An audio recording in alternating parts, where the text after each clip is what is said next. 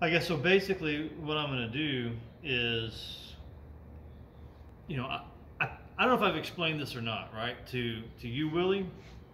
Um, but I had somebody ask this question the other day about how to bed the glass, and you know, bedding the glass is pretty easy. It's, you, know, you take a ball of putty and you and you put it underneath your glass when you're setting it down into the into the sash, and that provides a cushion. But there's a little bit of information that would be helpful for you to understand about the bedding that um, you might not know. Like, like for example, um, uh, if you're using wavy glass in a sash, okay, wavy glass should always be bedded. I mean, and what that means is um, you put your, you know, you put your uh, glazing putty here um, up underneath it uh, before you put the wavy glass down. And what that does is that provides a, a cushion and support for the wavy glass.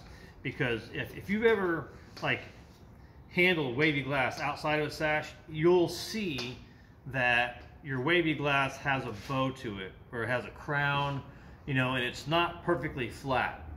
Like if you get a new piece of glass from Home Depot or Lowe's or the Ace Hardware or some glass shop, it's going to be perfectly flat. And you know, that's that's a little bit different story. You know, so you might, you know, you might not bed that, you might, but with wavy glass, it's got inconsistencies to it. You want to make sure that all of that is firmly supported. And I'll demonstrate because I've got this, I've got two sashes here. I've got a new sash and I've got an old sash. The, the, the old sash here is already glazed, okay? And um, if you look at this, you know, you come down here, um, where I'm pointing my pencil, you can see I've got putty up underneath the glass, okay? And that provides a really, that provides a supportive, but also a sealing bed, so it seals all the elements out. But I'm gonna turn the sash up like this, okay? And I wanna show you something, okay? Um, if you look in here, okay, really, really close, you can see the line of the glazing putty, okay, that's really important because, you know, when you go to paint the sash, it's nice to have that that glazing putty make the transition between the sash and the glass, and you can make that really, really smooth. But if you take it over here, okay, you can see the gap starts to increase in size. You see that? So the, uh, the glass has a slight bow to it and it lifts up right there. But that's okay because you've got glazing compound underneath it to give it support. This will firm up later and it will uh, provide just a solid base for the glass so that you won't have any rattling or anything like that. So that's that's that's one of the really important things about glazing and or, or, or bedding your glass. And so one of the things I'm going to show you is that when you when you put it, when you, when you put the glazing putty, the compound in your glazing rabbet, you put enough so that when you push your glass down, you get what's called squeeze out. And the squeeze out is the excess that you just press out of the way that's unnecessary, it's waste. And you know, you'll cut that out and that'll, and that'll be that. So uh, I'm gonna go ahead and show you that. So I'm gonna pause that video. All right. So I'm going to get these blue gloves here because I don't want to get it all on my hands. And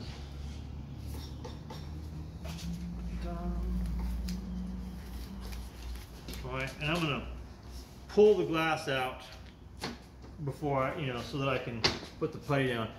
But note that I have already fit my glass before I put the, the bedding down people have made the mistake, myself included, that you can, if you put the glass in, um, or eh, sorry, if you bed the, the sash before you put the glass in and you make sure it fits, sometimes the glass doesn't fit.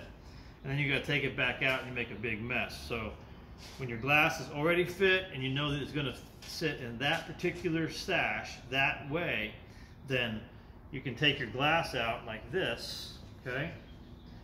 I'm supporting it here, I'm gonna put it over there, okay?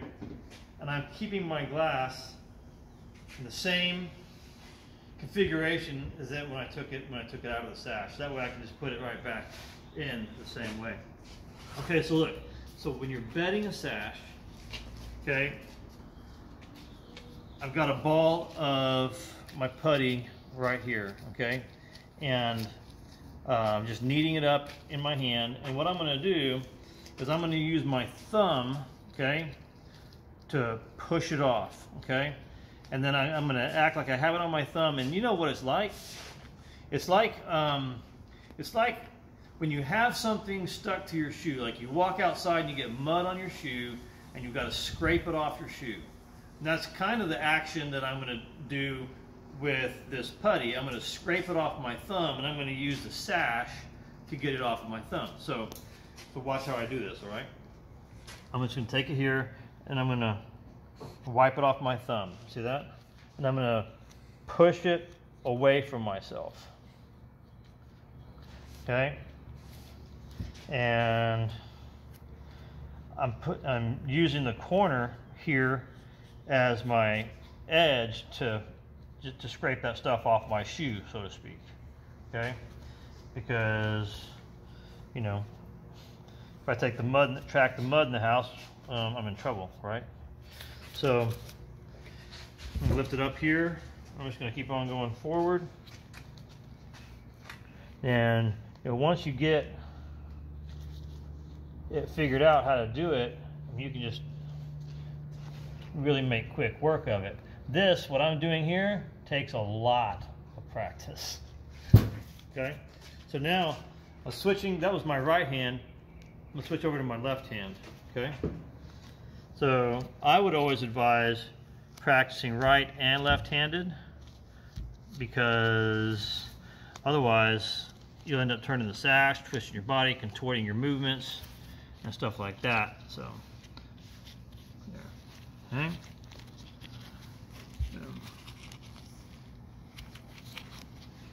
Okay, so I've got it. I've got a nice consistent load all the way around these three sides, okay?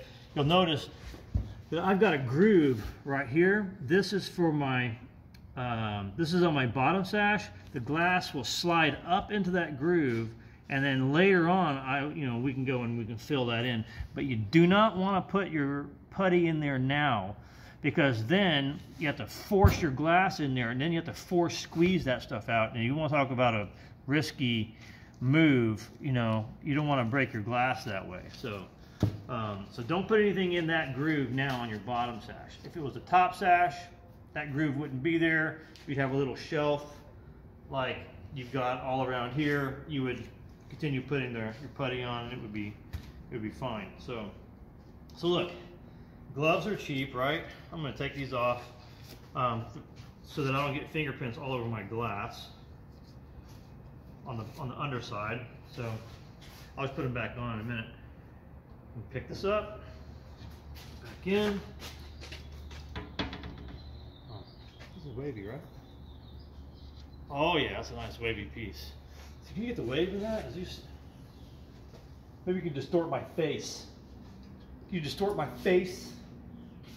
Anyway, maybe not. So let's put this back in. So look, see if you can see how I'm sliding it in that groove right there. So I'm going to slide it in. Just like that. Okay. I'm going to gently let it down into that putty. Good. All right, now look. A couple different ways to do this. I'm going to show you two different ways. Um, yeah. Um, Willie's getting the sander ready for me. He knows where I'm going. Um, one of the first things I'm going to do is I'm going to sometimes sometimes you just want to come in here and push it down with your hands. See if you can get the squeeze out as I'm pushing it down with my hands. Watch.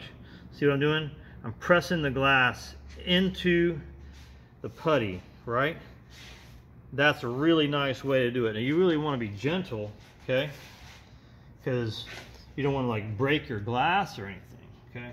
But um, the other way I'm, I'll do it is if you know you really want to be fast, you take a uh, a um, what do you call this? Just like a palm a, a palm sander, right? A quarter sheet palm sander with a a fabric pad set on it. And this thing's gonna vibrate, and it's gonna vibrate my glass. That's really gonna settle my glass into the, the sash, okay? So see if, see if you can get this.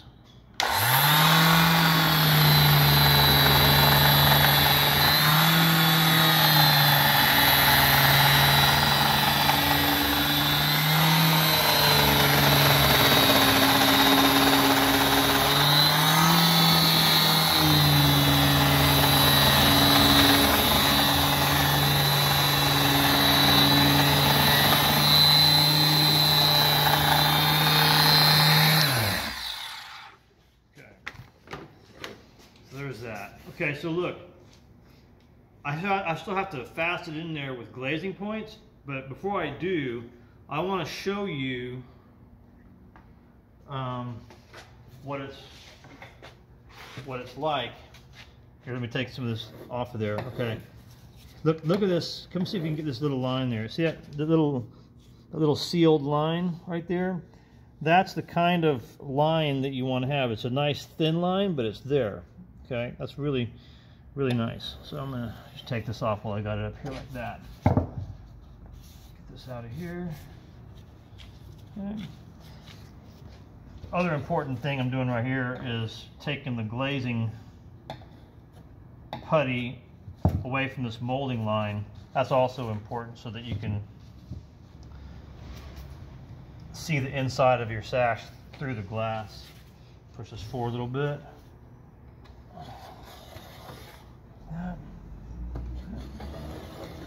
There. And if I'm paying attention, one of the things I'll do now is I'll go ahead and smooth that line there so I don't have to smooth it later because you know if I can put my movements together so that I can have do more with less time, that'd be great, right? So, all right.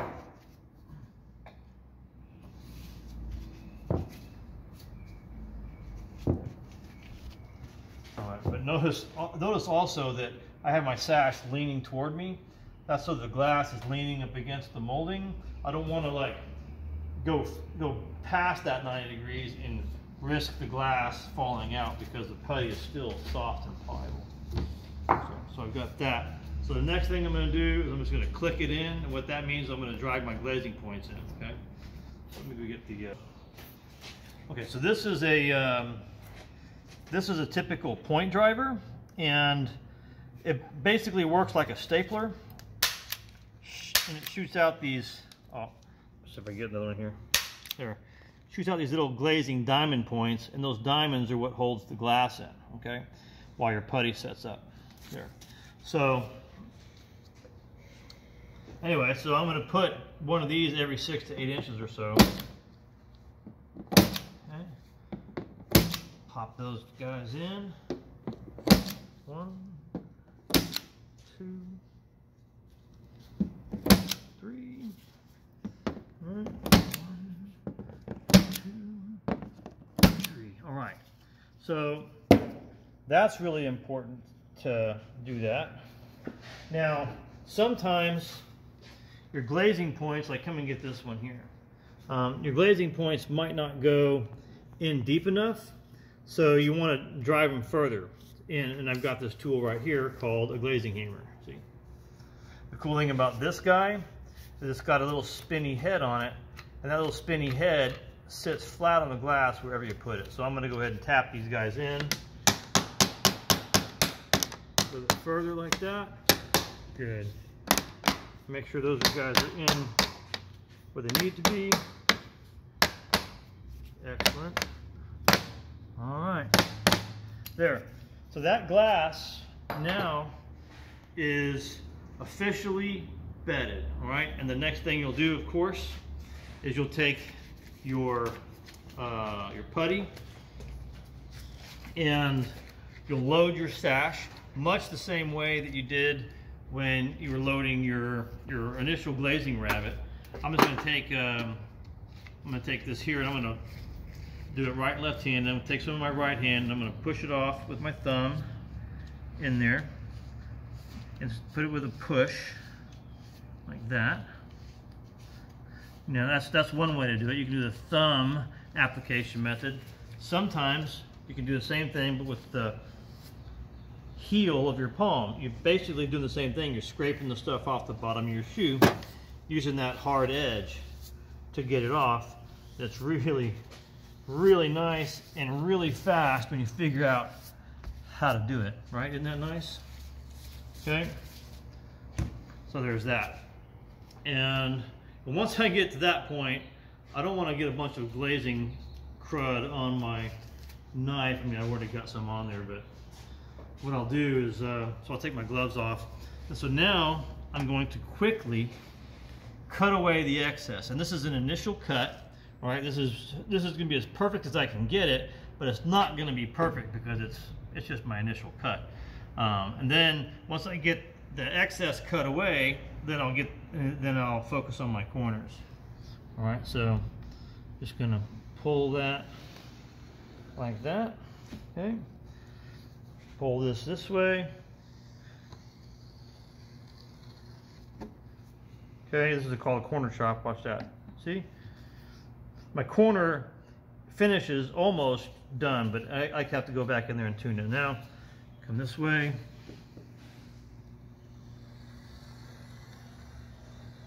Nice. Okay, a little corner chop there. I'm gonna take my excess out. There.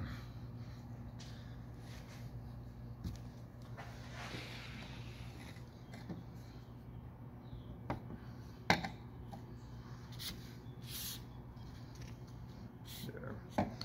Isn't that nice?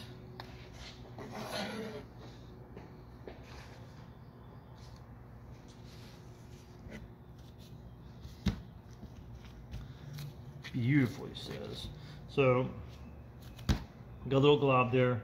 Now I'm to focus on my corners, okay? A little bit of little micro pick right there. Creeping pick, I call it. You know what? I've got little glazing points sticking out there, so I'm just to fix that real quick. There you go. There.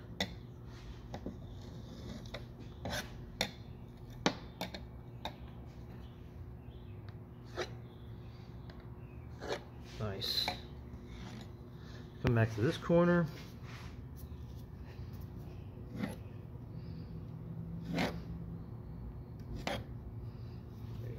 Actually, let me take my other glove off.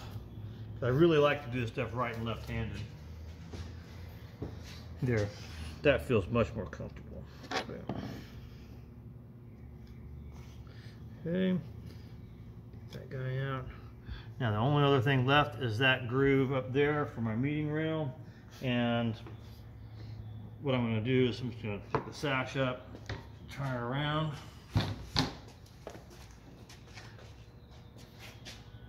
There we go. And then take some of my putty and start shoving it in my groove that way.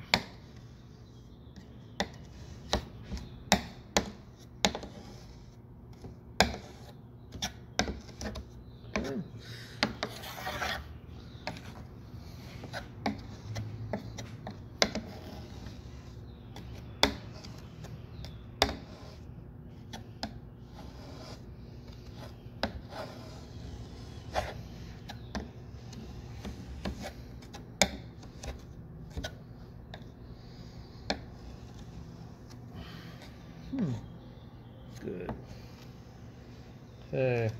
Notice I'm squeezing it in there. And it looks like I might be glazing it like the other sides, but I'm really not. I'm just pushing it in that groove. Okay. So, see, I'm getting that excess off now.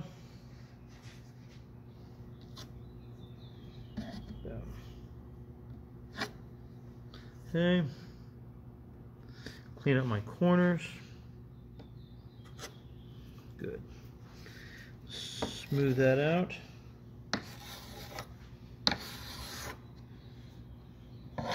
Good. Isn't that nice? Okay, then I'll get my my magic dusting brush. And right, so I got my magic dust, and this is nothing more than calcium carbonate and um, what do you call it? It's basically drywall mud more than anything. Okay, I'm just gonna let that lick up. See all that all that glazing residue, the oily residue there. This will lick that up really nice. Okay. I'm going with the grain, the length of the grain of my glazing so as not to mess up too bad. I might, I realize I might get my brush in there a little bit, but you know, that's not bad. That's not really bad because I can go in there and fix it. I'm fully expecting to maybe fine tune it after I'm done. There you go.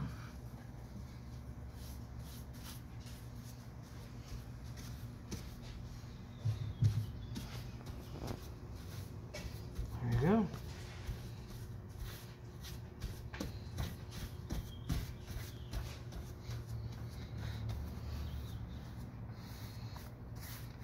So there's that.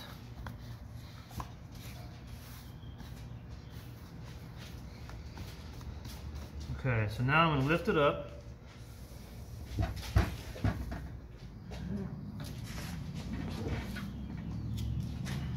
we go. So I can get some of this off of there.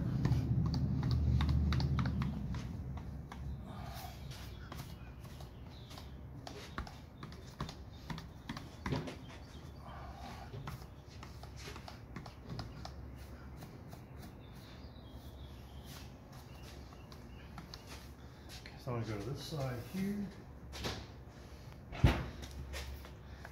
I know I've got some that I have to get off on these corners from my initial bedding. Okay, so let's get that bedding stuff off. Okay.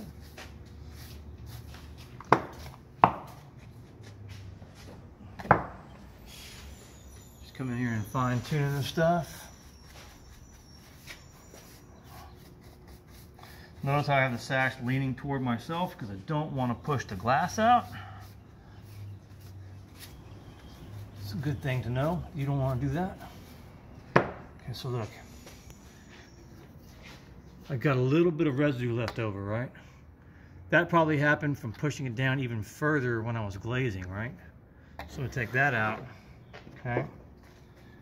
And this is a really nice detail you want to pay attention to is if you can right now set your sash up for your final painting, you want to do that, right? You want this transition between the molding and the glass to be really, really nice. Um, other thing too, little comment that I'll point out is that you can't see my glazing from the other side, right? That's intentional because I want to I want to be able to lap my paint up onto the glass so that you can't see it from the inside. Get this out of the way.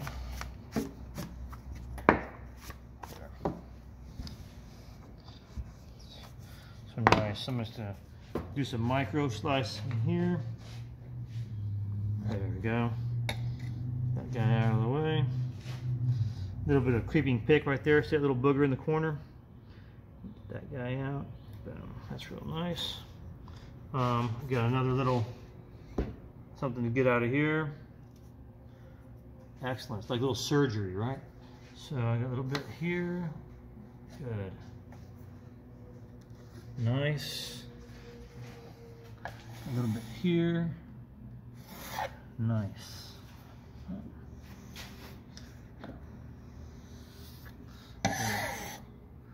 There we go. Beautiful. Okay, let me just sweep that away. And we're done, pretty much. Just go ahead and brush off just a little bit more.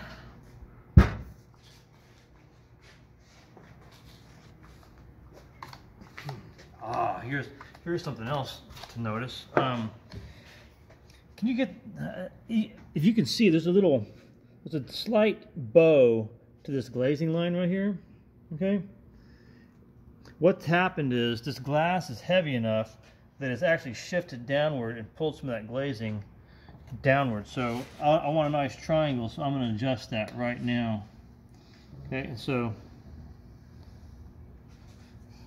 um, I want a nice flat, um, a nice flat um, angle there. So that's another little thing that you want to know about glazing that once once you have um, once you've got the sash right and this is you want to store it in its resting position like this position here is how it's going to sit in the opening all right? So this is how this is how you want to store it right? So I'm going to take it over now and put it in the um, in the rack. This is exactly there you go Oh, yeah, you got here sideways, so I mean, I'm, I'm not gonna have that part in the video.